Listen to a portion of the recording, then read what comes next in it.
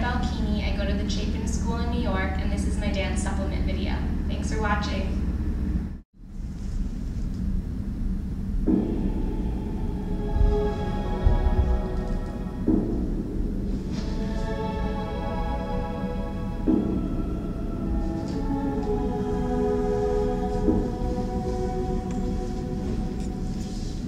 My friends tell me I should move on.